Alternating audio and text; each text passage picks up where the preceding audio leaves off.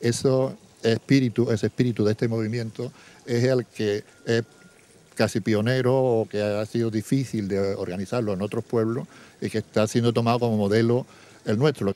Y es que la programación incentivada desde el Ayuntamiento de Facina, una de las próximas citas organizadas por Ciudadanos por Facinas, es la charla coloquio del próximo jueves.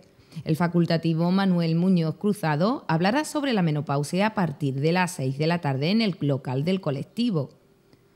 Una sede social que se quiere dotar de equipos informáticos y audiovisuales para mejorar el equipamiento del local, al que cada día se acercan vecinos de Facina. Otros restos pasan por mejorar la oferta de ocio brindada a los jóvenes con proyectos municipales como la conclusión de la remodelación del antiguo cine y la puesta en marcha de un grupo de teatro. En Facina, desde la iniciativa vecinal, se trabaja también por organizar excursiones y salidas a localidades cercanas que permitan incentivar el conocimiento de la zona en el tiempo libre. Y nos comprometimos a, organizar un, programa para el futuro, donde destacan nuevas charlas, eh, la creación de un, grupo de teatro, ya que hay jóvenes que pueden estar interesados, eh, las distintas actividades con los mayores, eh, organizar mm, pronto quizás una excursión a visitar algún otro sitio y sobre todo a animarnos entre nosotros mismos a demostrarnos que este movimiento no tiene ningún, ningún sentido de que queremos llegar a nada importante, sino simplemente a que entre todas las personas del pueblo, los que representan a instituciones, con vecinos simplemente de a pie, eh, tengamos un contacto continuo en un sitio donde expresemos cada uno nuestra opinión o nos informemos de aquellos temas que puedan ser importantes para Facina y entre todos eh, organizar algo que anime la vida de los mayores, de los jóvenes y del futuro del pueblo en general. La próxima cita del colectivo es el jueves 26 de noviembre a partir de las 6 de la tarde. Se espera que más ciudadanos acudan al encuentro y sumen ideas a la dinamización del ocio y la cultura. Más de un centenar de amigos dieron ayer el último adiós al espeleólogo Lothar Berman en la necrópolis prehistórica de los Algarbes. Colectivos de divulgación histórica como AGETPA, ciudadanos conocedores de su lucha por la conservación del patrimonio rupestre y representantes de la corporación municipal arroparon así a su familia. A las 11 de la mañana de ayer, un largo cortejo de cerca de un centenar de amigos y conocidos, con la familia de Lothar Bergman a la cabeza, encaminaron sus pasos hacia la necrópolis de los Algarbes, era el hábitat natural, el entorno vivido, disfrutado y amado por el investigador y descubridor del arte rupestre sureño que fallecía el pasado miércoles. Sus seres queridos, conscientes del cariño y afecto que despertó entre muchos, daban así a todos una última oportunidad de despedir a Lothar Bergman. No faltaron representantes de cada uno de los colectivos a los que se acercó en su defensa continua para la protección y divulgación del legado prehistórico todos trataron que poner palabras al recuerdo emocionado de un gran hombre. También sus familiares que, retomando la última cueva descubierta por Lothar, caminante, despedían al ser querido con letras de Machado. En su última cueva que descubrió, la cueva del caminante,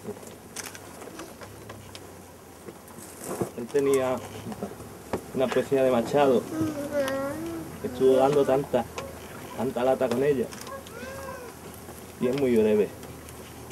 dice, caminante son tu huellas el camino y nada más. Caminante no hay camino. Se hace camino al andar. Al andar se hace camino y al volver la vista atrás se ve la senda que nunca has de pisar. Caminante no hay camino, sino estelas en el mar. Para Lota. Su lucha ha quedado ahí, en suspenso, porque prácticamente él tenía más poder que todos nosotros juntos tiene una forma de ser tan especial que la, las tareas que nos ha dejado, o sea, el carro de, su de su mensaje es difícil de sobrellevar. A ver si entre todos somos capaces de empujar un poquito. Para dejar muy claro que este espacio protegido no sería lo mismo sin la aportación de los tarbenos. Uno de los, de los valores más importantes que tiene el parque, que tiene mucho, pero uno de los valores más importantes es eh, el arte sur, que como así lo llamo. Y por supuesto desde la Junta Rectora y creo que desde AGEPA es el mejor homenaje que podemos hacer a Lothar Berman es continuar su labor he coincidido con mi mujer en que mm, había, había que pensar en las casualidades y que las casualidades eran, eran necesarias en la vida para mm, interpretar un poco lo que te va pasando a lo largo de la vida. Nosotros como Agadén y yo a título personal voy a hacer eh, uso de, que eso es verdad y es así. Y fue una casualidad maravillosa la que nos hizo eh, conocer a Lothar por su lucha. Nos dijo que este patrimonio no era nuestro, sino que esto era un legado que teníamos que entre todos conseguir que llegase a las generaciones futuras. Nos lió, nos enganchó y pusimos en sus manos los pocos medios que tiene el instituto y él los utilizó bien. Lothar ha sido nuestra estrella en un montón de jornadas de prehistoria y de historia que han servido de plataforma de eco para su voz combativa. Lothar lo conozco desde hace muchos años, soy familiar del Camping Paloma y él cuando vino a Tarifa, en principio, sus inicios, vivió en el Camping Paloma.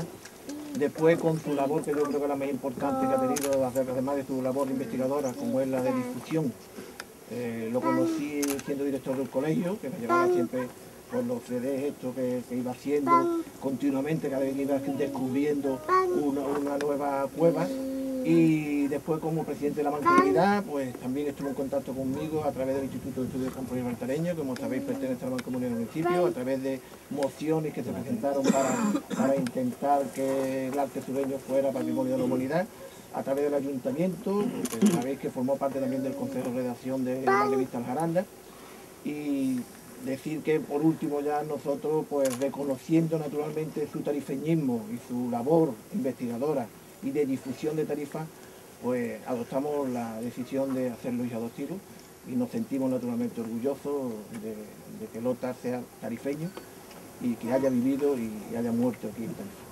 Lothar también le ha dado mucho a Tarifa y le ha dado una cosa que cuesta trabajo, que es la toma de conciencia colectiva sobre un patrimonio que hasta que, yo, que llegó Lothar era invisible. ¿no?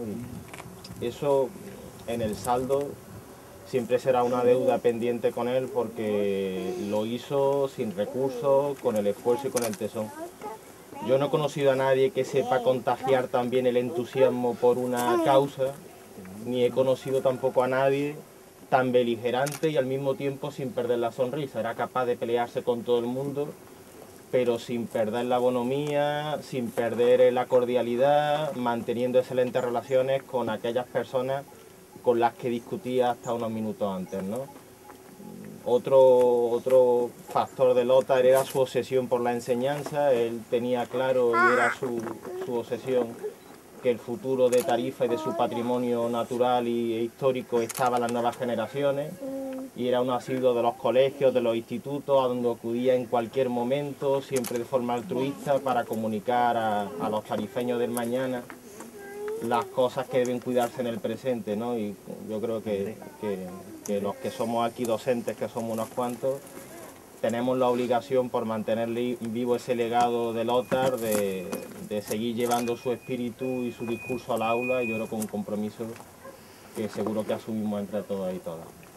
Tras las palabras de los amigos, sus familiares recorrieron la necrópolis, esparciendo las cenizas del defensor a ultranza del arte rupestre de Tarifa.